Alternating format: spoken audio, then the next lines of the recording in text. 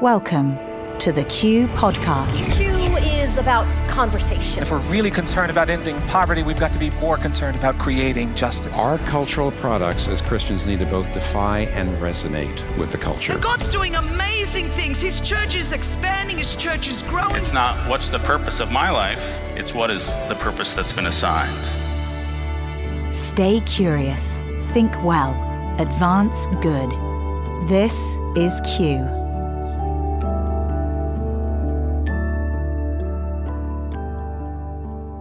Welcome to another edition of the Q Podcast. I'm Gabe Lyons, and today you're going to get to listen in on a conversation I had with Leonard Sweet. And I don't know if you've ever read a Leonard Sweet book, but this is somebody who has been faithfully for decades now looking at the future, trying to understand what's God up to, but what are the cultural issues the church is going to have to deal with. And if you've been listening to this podcast for a while, you know we care a lot about that. I mean, this is part of why Q exists is we want to ask the really big questions about where the world's going, how does faith intersect with that? How can we lead in a cultural moment where there's a lot of confusion and chaos? And Leonard Sweet is somebody who can be a guide for us. Uh, before we get into that interview, though, I want to invite you to to come and join with us in person because part of what we'll talk about today with Leonard Sweet is artificial intelligence, of lack of in person connection, of the value of face to face, how it actually overrides most of what we can do through a laptop, through texting one another, through FaceTime, even through social media, that when we come together, there's something unique about being embodied.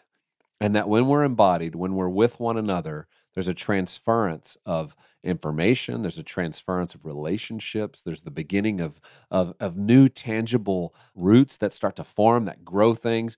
And so for 14 years now, we've been trying to create that kind of space, and we've done it all over the country.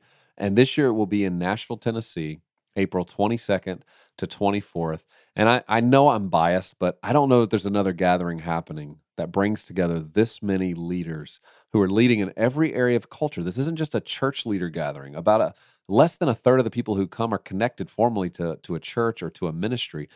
70% are business leaders, are people in the education field, the social sector. They're, they're in marketing and sales. They're entrepreneurs. They're people who are sitting in media positions and communicating daily on television or radio or in entertainment. They're filmmakers. They're programmers. They're people who are creating video gaming systems and new media platforms. So it's the kind of people who are innovative. They, they think about the future. But because they're people of faith, they want to think about the future with a lens towards what is God up to? How would He maybe want to use me towards a future that's coming that maybe others around me can't see, but I can see?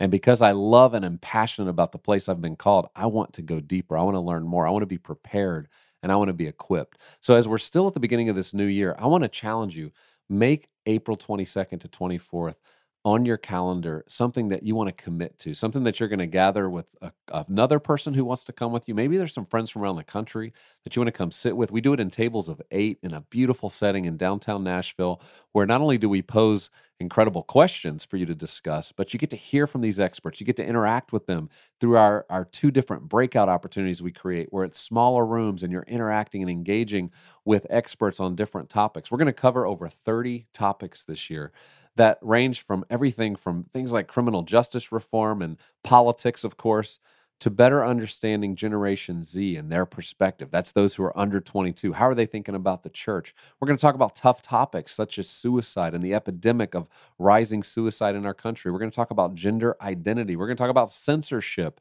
and where's the future of ideas going and are there only certain ideas that are going to make it through? For the public to see. So all these conversation completely consequential to the future of faith, especially in Western culture. And and to learn more about that, go to qideas.org slash 2020. When you go there, you can see the topics we're talking about. We're adding those daily.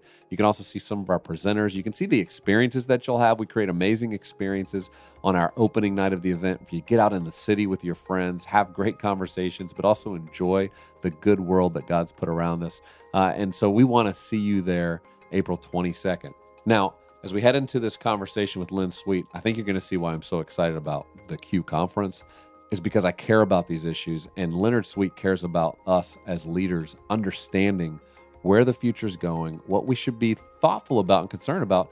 But also, in conclusion, why we don't really need to be all that concerned at all because of Christ. And so, this Christ centric conversation is something that I'm excited for you to start your new year off with.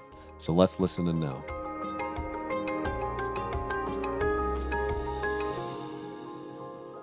Well, Len, it is great to have you on the Q podcast. This is the first time ever. And so it's just fun for our audience to get to hear from you. And as I've told them about you, you are somebody who's just been a prophet, somebody who thinks about the future, who predicts some things. And and now with this track record of, of over the last 20 years, I mean, back in 99 when you wrote Soul Tsunami, you were doing the same thing. And it's just, it's amazing that it's been 20 years, but that you're still doing the same thing for leaders, for the church to think through where the world's going and how we ought to engage it, especially as the church. And so, thank you for that. Thank you for thank you for your faithfulness over the many years. Well, I'm glad to uh, appreciate you recognizing that and um, appreciate that. I, I, have actually a, a, whole set of doctoral students that I work with. I'm in my 18th year, Gabe, with um, students just working in something called semiotics, and that's really what I do in this in Rings of Fire and what I did in in um, you know Soul Tsunami. Before that, actually, in '94, I did Faithquake. So hmm. this attempt to really help people to read the signs and then know what to do about it. So yeah. So I, am raising up a whole tribe of Issacharians. So well, we love well we we love that. I mean, one of the practices we talk about that has just been a part of the church and has to be a part of the church is embracing the context that we're in so we we understand it but then we understand god's called us into this moment. So we got to bring our best. We need to be smart. We need to be informed. And i feel like that's what you're doing. And your new book rings of fire has just been such a good read for me to start to get my thinking there because these are the things i mean i love reading about the future. I love thinking about it. God's given me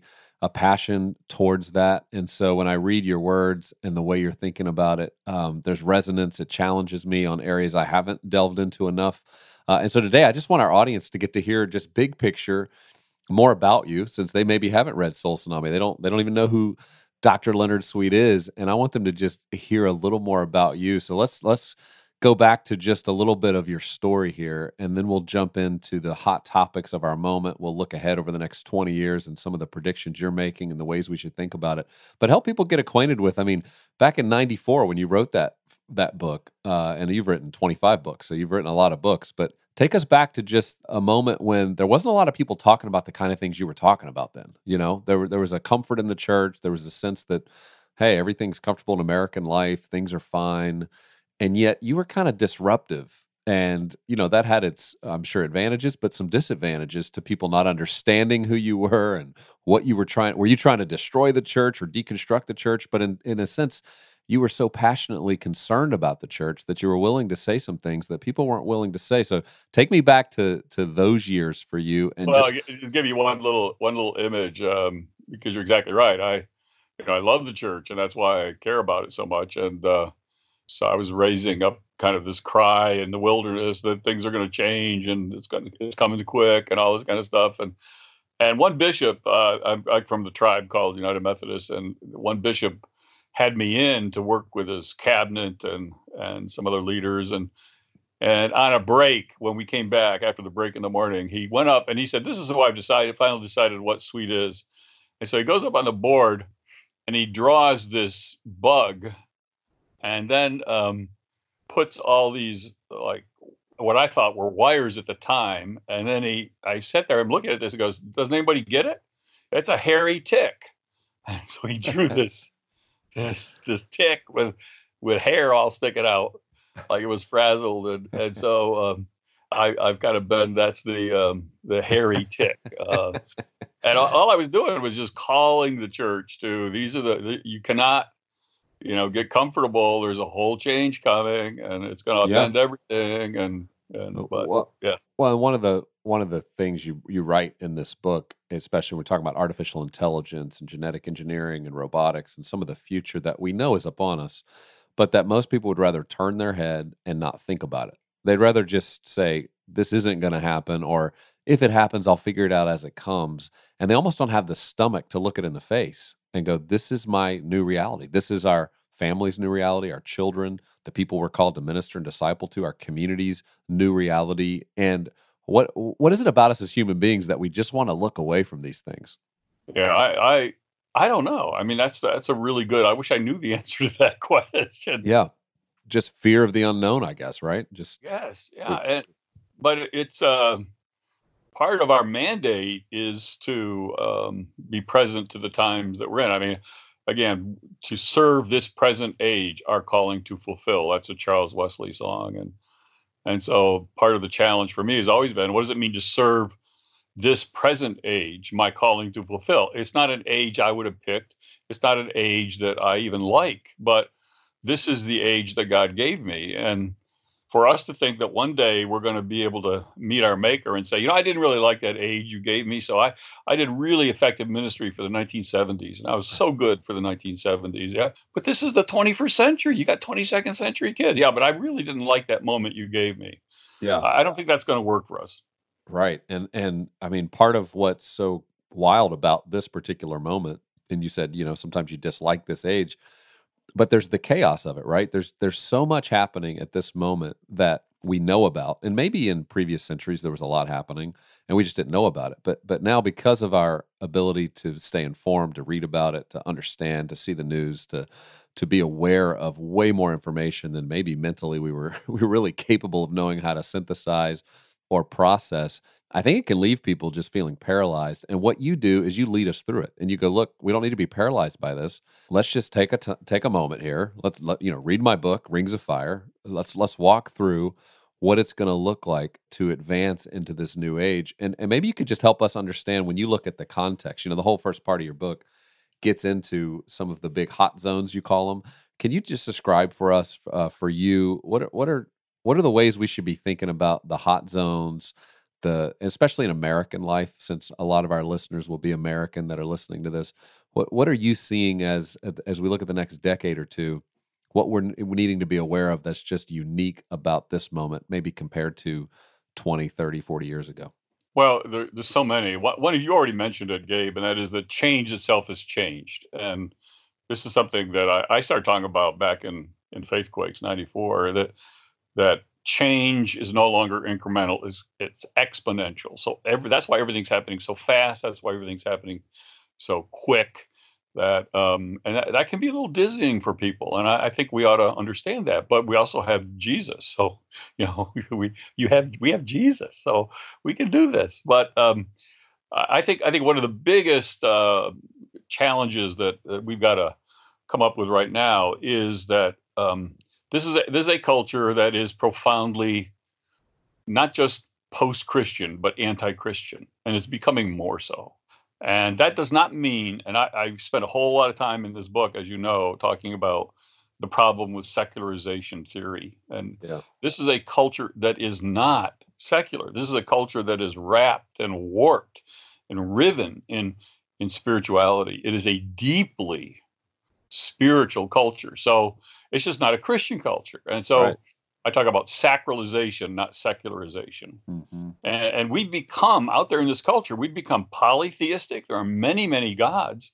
We become pluraltheistic. That's one vast synthesis of all the religions in this pantheon of gods. And and so the the whole secularization theory that that academics have loved to talk about for the last 30, 40 years, I call an academic hoax. It is not the reality in which we live. We live in a deeply, this culture turns everything it touches into an idol.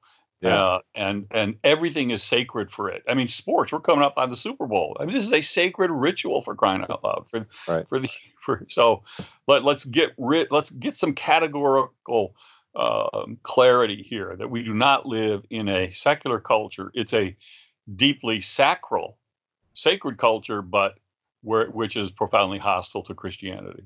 Yeah, and to say that this culture is anti-Christian, I mean that's a there's a season where if you were to say that 30 years ago, you were seen as an alarmist, you were seen as you know a right winger, you were seen as somebody who was was saying this the sky is falling.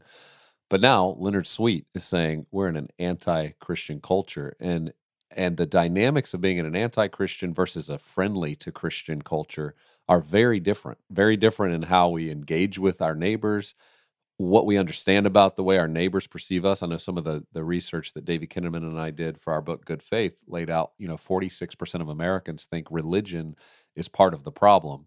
Now, of course, their definition of religion was was a little different than what we're talking about. They don't they don't sometimes see the religions they're living by because they don't call them religions. They they see themselves as non-religious. But to your point, you know, I was looking at the the Twitter data that they've compiled over the last three and a half years, where they look at the hashtags, the conversations, and when they remove politics and they remove sports from the conversations, the the one of the top trends is DIY spirituality that people are talking about. Do it yourself spirituality, which is what you're saying. You pull from what you want, take the little piece here and there, create your own version of God, and then go out and live that and feel good about yourself. Yeah, it's So- all my truth, my truth, my truth. Y- yes, that's right. And and you'd mentioned that in this book, you know, the idea of its individual truth, you know, is kind of the new way of of approaching truth. And so uh, you know, as you as you think about the hot zones, one one of the things I want you to comment more on though is you talk about the disunited states of America. You have a whole chapter on this idea of how we're seeing America start to come apart and we're losing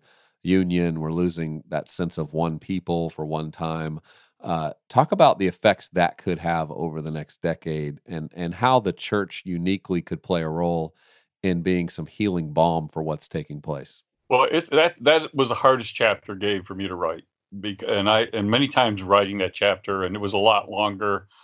I actually thought at one point of making it into a book, but um, I, I just I don't want to I don't want to go down that way. You know, I just 'cause it's so painful to talk about it. But our kids are not going to live in the same United States of America that we did. I mean, this, we are seeing some things happen, and partly let, let me just say, partly it's part of the whole mediated living that we our mediated lives um i mean you you cannot take a walk through the world without viewing that walk through the lens of mediation everything we do is focused on social media i mean you i when i grew up and you probably too um our parents taught there was appropriate dress for a certain occasion so you when you went to grandma's you dressed for grandma when you went to church, you dress for the church. Uh, that's all gone. Kids dress for how they're going to look on Instagram when they take a selfie of the picture of them there.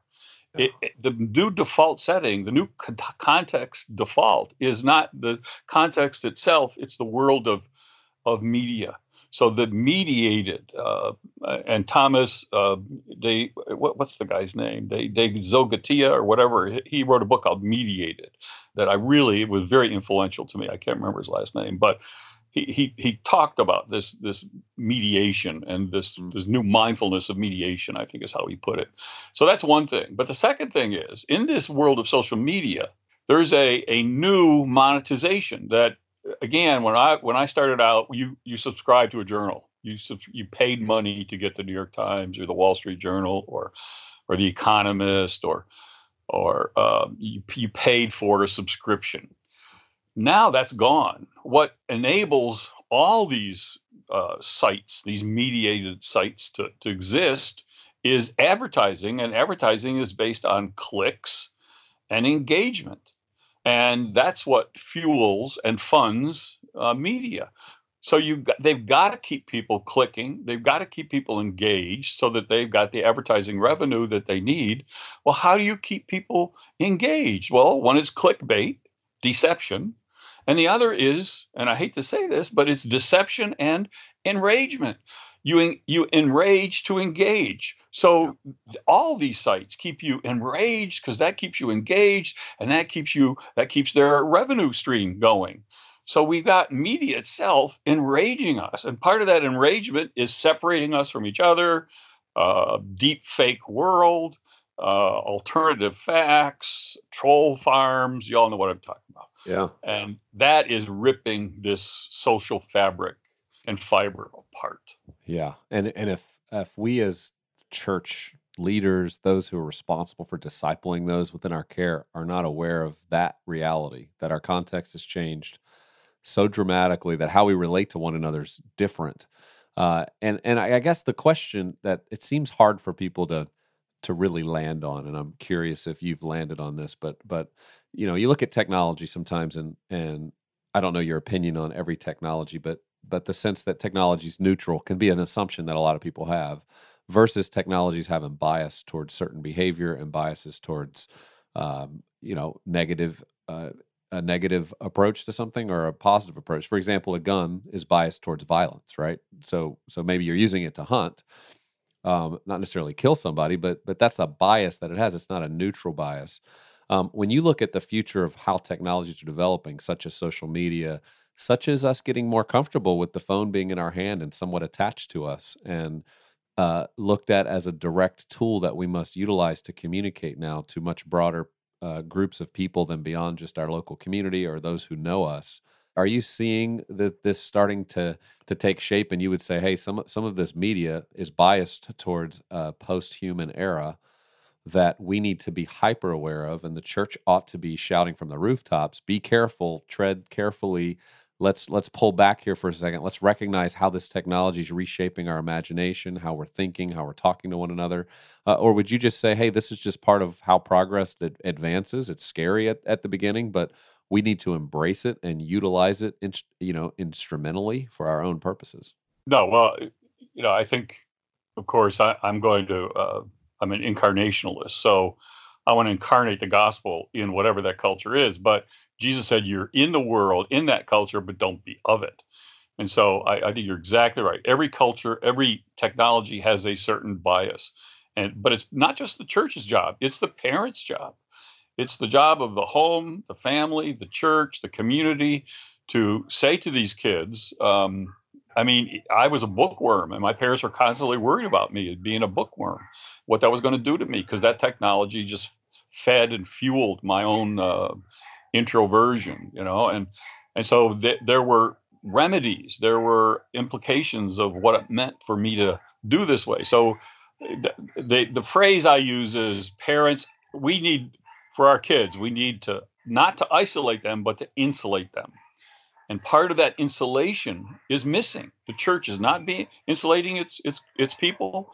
The families are not insulating its people. It, it is a we are in a dangerous situation. We just send our kids into this world. I, I, I grew up with a, a mentality of there were certain words you didn't say because they had power to take you over. There were bad words. Don't say those words because they can take you yeah. over. Well, you think words are bad. Images are even worse. Images can take you over in a minute. And so we have an ethic of words. We have no ethic of images. If there are certain words you should never say, maybe there's some images you should never see. And if you do, you need repentance and you need cleansing rituals. My grandma, I'm from West Virginia, she had a cleansing ritual when I had bad words. And and uh, did it involve soap in your mouth? that's exactly. So this is what we're talking about. I think you're exactly right. We've got, but that's up to the church to do that. It's up to the family to do that. And we are not even asking those questions, Gabe. Yeah, well, I think there's this tension in the church, and I, I see it illustrated at some of the highest intellectual levels of, of Christianity, evangelicalism, where, you know, I don't know if you're familiar with Rod Dreher, wrote a book called The Benedict Option a few years ago that, you know, really, really struck out a bit of a vision that that looked as if the church and Christians and that he was advocating should pull back from some of these cultural spaces that we're inhabiting and actually get our own families in order, get our own churches in order, connect more, network better as institutions because we're being taken over by a wave of of both as he would describe secularism but also of of new forms of culture that we're we're undoubtedly completely unprepared for. And to just blindly continue to say we're just going to be in the world and not of it and yet not actually have the the the core community around you on the same page theologically or philosophically about how to engage this that we will be so weak we'll just be completely overrun. And and I know he gets lambasted for having that perspective but as I hear you talk and I know in my own thinking there's value to thinking that way. There's value into saying hey if we're in the long game here there's moments where with your kids with your family with your church uh, that there's there's something to be said about putting some guardrails up and saying we we need to be wise. We need to go deeper with those who are within our care and shepherding them and preparing them for this world. And sometimes that might seem a little uh, as if we're we're backing off of our mission to go into the world. But how how are you seeing that? Well, that's that's where I, I feel exactly like you do about that book, and in some ways the way, the way you presented it, because I think he diagnoses our problem and our challenge. But the game is not the huddle. I mean, you do need to huddle, and uh, families need to huddle. The church needs to huddle. We all need to huddle, but the game is not the huddle. You come out of the huddle and down the field, And that's where, again, you huddle to insulate, to prepare, to strategize, to warn. This is what this is what the lay of the land is. But God did not call his church to huddle. We are Yeah. there to huddle only long enough to come out of that huddle and go down the field and ministry and mission. So I, I want I fall between the cracks. I want huddle time, but I want mission time. I want field time down the Yeah. field. Mhm. And um, so I get the, the, the people want to stay all life in the huddle don't like the mission part. The people who like the mission part don't like the huddle part. right. I mean, it's it's uh it's a beautiful blend of the two that's just going to be necessary. And I think the younger we go with our children, maybe it's a little more huddle um, as we're preparing them for launch. And I think parents are struggling with that today. Their their their children. I, I have three teenagers. The access to the information. It's hard to insulate in this world. I mean, the only way to insulate is is definitely not to have a phone. Don't have internet in your home. You know, I mean, there's there's some real extreme measures you could take but then you're not necessarily preparing them for how are they going to live within that space. But let's let's move on. I think I think artificial intelligence. Uh, you know, you you talk about it so well in here. Genetic engineering. We've got uh, information technology, nano robotics. You know, these are some of the things we've talked about at Q over the last several years. Actually, a decade ago, I don't know if you know Shane Hipps, but he he gave a talk in 2009 at our Q event we had in Austin uh, on this on on the cell phone and and how it was starting to reshape our minds, rewire us, uh, make us less present, less embodied as human beings. How this was a problem, and the church needed to be paying attention to it. Well, you fast forward to this past year, we had Andy Crouch uh, give a talk on the theology of cyborgs, and the idea being, what what does it look like when you're asked to put a chip into your head? Or you're asked to get the chip in your wrist when you go to work to kind of track some things because it's more convenient and and we're trying to stay ahead of those conversations and help the church understand where this is going so that so that we don't just half-heartedly follow along with innovation and technology and look at every new innovation and every new tech that's introduced and go oh this is good for the world. This is innovation versus having a bit of a view towards this where we're assessing what is this going to do to our community? What is this going to do to my own humanity? How how am i giving up part of who i am?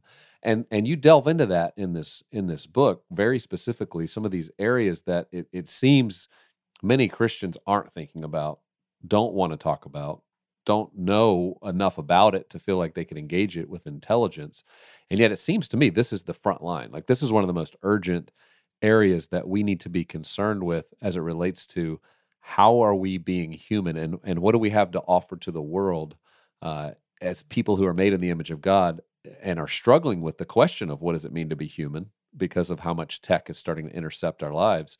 Uh, and are you seeing it that same way? Are, are you seeing this as one of those new frontiers that we just need to be smarter on and start teaching about and helping people understand, even if they start to roll their eyes? Yeah, well, I, I've been singing this song for 20 years. Um, and uh, Bill Joy, who was one of the co-founders of of uh, Java, one really invented that whole program, and and with Tim Berners Lee is the real one that helped to establish the internet. He in 1999, as we went over remember that Y2 thing, um, he wrote an article, "Why the Future Doesn't Really Need Us." It put it in Wired magazine, and that was required reading for all my students for a couple of years.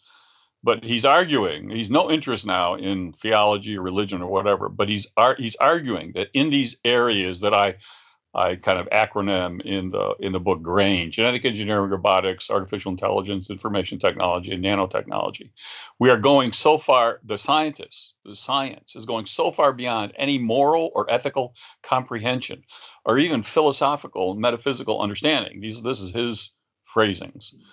That he argued that scientists ought to declare a moratorium for a few years on cutting edge research in all those areas until they could convince the uh, the philosophical and ethical and religious community to engage them in conversation because they were in a a new land, a new territory that there he knew there would be there'd be dragons there, but they didn't know where the dragons were, and they really needed some some conversation with ethicists and theologians and philosophers to, to come to terms with the cutting edges of these areas. And now this is 1999, Gabe, and um, you know I I've been flailing that article. I, I've had lectures that I start doing this, and everybody's eyes, you're exactly right, they start glazing over. you know, I Right. go, we're all cyborgs now. We've already crossed that. That the question is, how cyborgian do you want to get? And people look at you like, what are you? you know? So I say, my mother, when she died, she was a cyborg. She had artificial, she had a pacemaker, uh, artificial hip. She was part born, part made. How far do we go on this? And everybody's eyes glaze over. So Yeah. Yeah. but you're uh, the big one is AI. Let me just say, AI will be to humanity what the invention of fire was, if not bigger. It will have that kind of impact on what it means to be human, and we have we are just at the beginning stages of AI. And if we don't start talking about artificial intelligence and what that means and its implication for our understanding of what it means to be human, I have a book coming out called A Jesus Human, where I just try and deal with this whole issue. What is Jesus didn't Jesus is the last Adam. He died on the cross, not to make us into Christian. I, I, the, I wanted to title the book maybe Will There Be Any Christians in Heaven? Jesus did not die to found a new religion called Christianity. Christianity is what we did to Jesus. Jesus is the last Adam who who showed us how to be the original human that God created us to be, the original Adam and it's all about the future has got to be all about humanity Yeah. now i believe that the way to be human is is through jesus so i'm a Yeah. jesus Yeah. human yeah. but right. you've got to bring the particular and the universal together and nobody wants to do either they don't want to talk about the particularity of christ and they don't want to talk about the universality of what it means to be human and that's exactly what the future needs Well, and I think those questions are just going to come up more and more. The exciting thing about a future with a lot of chaos and a lot of unanswered questions is people start talking again. They start asking questions. And there's an opportunity for us to give better answers than maybe they're hearing from social media or from their friends or from their latest professor about what it really means to be human. Where do we find the, the deepest uh, meaning and purpose in life? Some of those just existential questions every human being's asked but they don't always have the best answers. And that's been a key for Christianity as we look back over the centuries, is that the Christian faith did offer answers to some of these existential questions that were way better than what the rest of, of the religious world could offer or anybody else could offer because it actually made sense. It was coherent. Uh, it aligned with reality the most. Uh, and so I, I think I'm so thankful that you're spending time working on this and thinking through it. I know sometimes it can feel lonely because you're you're you're decades ahead of where other people are of their concerns and then it's 20 years later when they finally appreciate your work and go man you were really on it. And so I want what I want to say to our our listeners is Leonard Sweet is somebody that you need to read now. This isn't one of those where let's wait 20 years to see how many of these predictions come true how many of the questions that he's suggesting we will be asked as Christians that we need to prepare for. Absolutely we need to be preparing for it. We need to be not only preparing ourselves but preparing those who God's put in our care and that could be your children it could be your just friend group it could be uh, people within your local community your workplace your church. Um, if we're not having conversations about the future and and where we see the world going uh, and how we can best intersect that then i don't know that we're being faithful stewards of the moment and you've been an incredible steward of that. So len uh, in closing will you just as, as you look at the next decade and and and we're talking to pastors let's say it's it's church leaders listening right now which is a portion of our audience but i want you to focus in on on the church leaders who sunday week in week out they're teaching a sermon they're they're trying to encourage their people they're exhorting them they're bringing them back to the word of god and helping them uh, better understand you know what jesus' life was about and what he called us to do and they're tr- they're trying to teach around that. As you look a, a decade from now i mean where do you think our pastors need to be in terms of education on some of these issues, in terms of how much these types of topics should be coming up in any type of gathering that's gathering God's people together, uh, where we're talking about some of these subjects that I think for pastors sometimes feels off limits, doesn't feel like it's something that should be talked about in church. Is your feeling that this is going to need to become a more important part of the conversation? Well, I do think it's an important part of the conversation, but I do think that the most important thing we can do is lift up Christ, and and that is not being done in my mind um, nearly enough. You get you we got sermons out there on how to on every kind of it's they're appy sermons, how to have a here's the application, here's how to you know have a better marriage, here's how to have a better life, here's how to make more money. So we're we're full of all sorts of of uh, motivational stuff. But the unique calling of a preacher is to lift up Christ. And in fact, if he be lifted up, he says, I will draw all people to me. Christ is Christ is the draw. And I, I just I'm just trying to get if we just lift him up, he has the he has he has the power to change lives. Our our preaching no longer has the power to change lives, much less convert thieves on crosses or thieves hiding out in trees like Zacchaeus or thieves presiding at sumptuous tables like uh, like uh, Levi the public. I mean, you've got we we all we have to do is to lift up Christ, and He will draw. And so that that's my passion is that He's the one that can we can navigate uh, and negotiate anything if we are following Him, and He's in the lead, and uh, we're behind Him, and just lift Him up.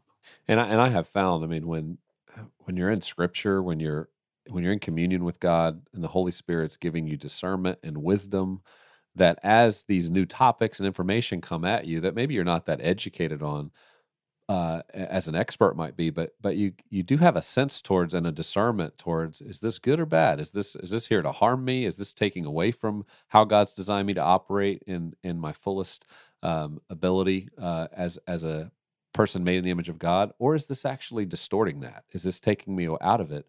And when you when you kind of have that operating system right, you can start to take all these issues in and, and that's what you do so well in rings of fire as you can tell you have an incredible foundational operating system and worldview that allows you to take in all of the new conversations questions information and and you know as you know scores more that we haven't even thought of yet that are going to be coming at the next generation. And with that rootedness in christ you can actually see through it and you can help guide others uh, to have peace and purpose even in the midst of where a world's getting a lot more anxious about some of these new things and not certainty about where things are going. So I just want to thank you again for your faithfulness on this. Thanks for this book and uh, the resource I know it is to me and that it'll be to so many who read it. And uh, look forward to seeing you in the near future. Yeah, appreciate that, Gabe. Look forward to seeing you.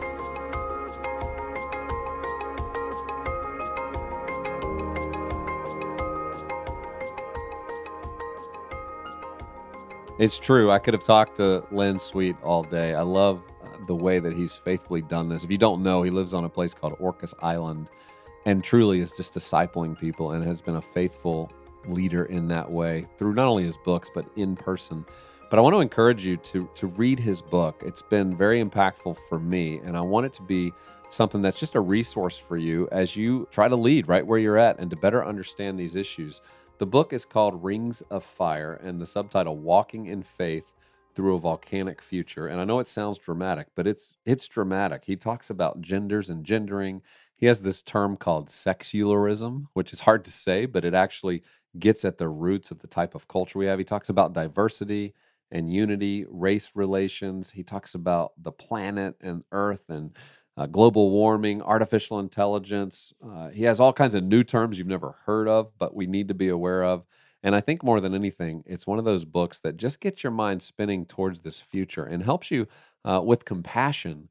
Try to think ahead for your kids and your grandkids. What is the world they're growing up in? And how, if we have any opportunity to steward right now, our opportunity to prepare them for that future, how do we do that? And this is the type of resource that will help you do it. So I hope you'll enjoy this. Share this podcast with your friends. Leave us a review. Let people know that you enjoy Q on a weekly basis, getting to hear these interviews, also getting to hear our talks because it's through you spreading the word that these conversations become more of a reality for Christian communities, for small groups, for your friends. And don't we need more conversations like this happening? So join us anytime at qideas.org where you can get access to our video clips of one and two minute clips of some of our best moments at Q. You can also subscribe to get our full length talks that include questions and the ability for you to convene conversations in your home through Q Media. So check it out. We're glad you listened in on this conversation and excited to continue this in the weeks ahead.